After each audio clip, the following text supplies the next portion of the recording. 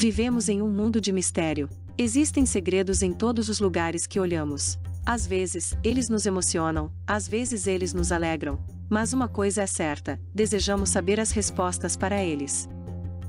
Felizmente, descobertas são feitas todos os dias e frequentemente nos contam mais sobre nós mesmos, nossa história, nossas ideologias, nosso passado. Mas, às vezes, as descobertas apenas nos levam a um estado de perplexidade ainda mais profunda. A era viking sempre foi envolta em intrigas e mistérios. A história conta lendas sobre eles. Um templo viking, dedicado aos deuses nórdicos antigos como Thor, foi descoberto por arqueólogos.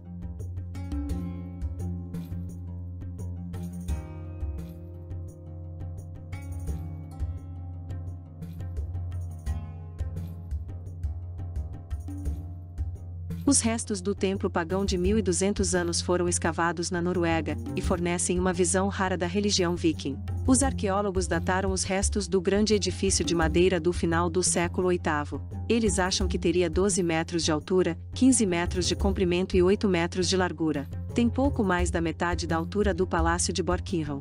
Pensa-se que sacrifícios e banquetes teriam ocorrido dentro para homenagear os deuses durante o solstício de verão e inverno. Uma grande pedra branca foi encontrada anteriormente perto do local, e estava ligada a antigos rituais de fertilidade. Este é o primeiro templo nórdico antigo a ser encontrado na Noruega. O nórdico antigo é a língua antiga associada aos vikings. O arqueólogo Soren Dinhofen, do Museu da Universidade de Bergen, disse ao Live Science: Esta é a primeira vez que encontramos um desses edifícios muito especiais e lindos. Nós os conhecemos da Suécia e da Dinamarca. Isso mostra que eles também existiram na Noruega. Ele acrescentou: é uma expressão de crença mais forte do que todos os pequenos locais de culto. Isso provavelmente tem a ver com uma certa classe da sociedade, que os construiu como um verdadeiro show ideológico. As fundações do antigo edifício, ou Casa dos Deuses, como costumam ser chamadas, foram descobertas no mês passado em uma vila ribeirinha norueguesa chamada Ose. A escavação estava acontecendo lá em preparação para novas casas. Traços dos primeiros assentamentos agrícolas também foram encontrados nas proximidades. Eles datavam da época anterior de cerca de 2000 a 2500 anos atrás. Os restos do templo datam de uma época posterior, quando se pensava que a área era dominada por famílias ricas de elite. Pensa-se que as famílias teriam liderado a adoração do culto. Os especialistas acham que a elite provavelmente queria uma casa de Deus construída com base em estruturas mais cristãs, com uma torre alta no topo. Antes dessa época, os deuses vikings eram mais comumente adorados em ambientes simplistas. A madeira do templo não existe mais, mas você pode ver os postes onde as vigas principais estariam e a área onde estaria a torre alta. Evidências de covas de cozimento e ossos de animais se encaixam na teoria de que ali ocorriam banquetes e sacrifícios comida, bebida, sacrifícios de animais e metais preciosos eram frequentemente oferecidos aos deuses nórdicos antigos. Os adoradores então festejariam e desfrutariam dos bens porque sabiam que os deuses não poderiam vir e se juntar a eles. Em vez disso, estatuetas de madeira podem ter sido usadas para representar os deuses. Os deuses nórdicos antigos mais populares incluem o deus da tempestade Thor e o deus da guerra Odin. Os reis da Noruega impuseram o cristianismo por volta do século XI, então queimaram muitos templos e locais religiosos da antiga nórdica. Não há evidências atuais que sugiram que o templo de Ose foi queimado, 27 sarcófagos enterrados, há mais de 2.500 anos foram descobertos por arqueólogos em uma antiga necrópole egípcia. Eles foram encontrados dentro de um poço recém-descoberto em um local sagrado em Saqqara, ao sul da capital, Cairo. Treze caixões foram descobertos no início, mas outros 14 seguiram, disseram as autoridades. A descoberta é agora considerada por especialistas como uma das maiores de seu tipo. As imagens divulgadas mostram caixões de madeira bem preservados e pintados com cores coloridas e outros artefatos menores. Saqqara foi um cemitério ativo por mais de 3 mil anos e foi declarado Patrimônio Mundial da Unesco. Estudos iniciais indicam que esses caixões estão completamente fechados e não foram abertos desde que foram enterrados, disse o Ministério de Antiguidades do Egito em um comunicado. Mais segredos.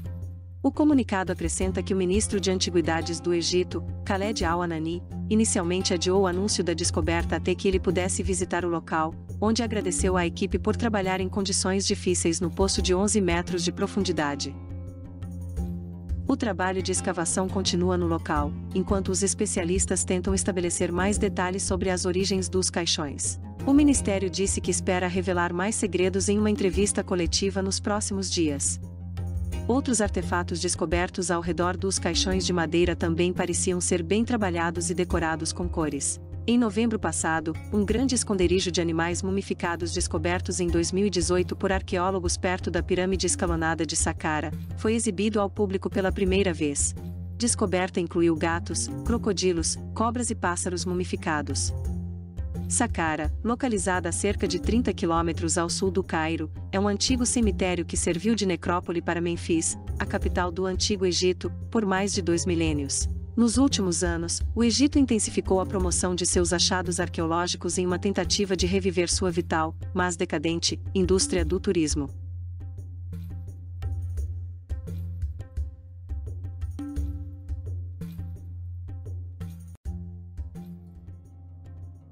Os trabalhadores da construção civil, que trabalhavam em um novo hospital de animais no Parque Safari Ramagan, redescobriram dois sarcófagos de 1.800 anos, que foram inicialmente desenterrados e removidos, quando um estacionamento foi construído no local. Os funcionários do safari que estavam no parque no momento da descoberta inicial disseram que os caixões foram descobertos originalmente há 25 anos e transferidos para uma área próxima ao novo hospital.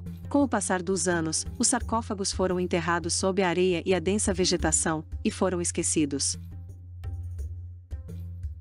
De acordo com a Autoridade de Antiguidades de Israel, os empreiteiros começaram a cavar como parte do trabalho inicial no Centro Médico de Vida Selvagem quando notaram os dois caixões projetando-se do solo. Eles são dois caixões iguais. Eles são decorados de forma idêntica com guirlandas e discos, disse o Zirotisten, da Unidade de Prevenção de Roubo da Autoridade de Antiguidades de Israel. Estamos falando de caixões de 200 a 300 a.C. do período romano. Provavelmente foram feitos para marido Acredita-se que os sarcófagos tenham sido esculpidos em pedras extraídas localmente, mas eram imitações dos prestigiosos sarcófagos feitos de mármore proconesiano da ilha turca de Mármara. Acredita-se que os sarcófagos tenham sido esculpidos em pedras extraídas localmente, mas eram imitações dos prestigiosos sarcófagos feitos de mármore proconesiano da ilha turca de Mármara. A Unidade de Prevenção de Roubo da Autoridade de Antiguidades de Israel, disse que os discos decorativos nos caixões foram presumivelmente projetados para proteger e acompanhar a alma em sua jornada para a vida após a morte, e guirlandas eram uma decoração tradicional para os caixões. Entre as guirlandas há espaços ovais, que os arqueólogos acreditam que originalmente deveriam ser preenchidos com o motivo habitual de cachos de uva, mas por alguma razão desconhecida o trabalho permaneceu inacabado, disse a autoridade em um comunicado.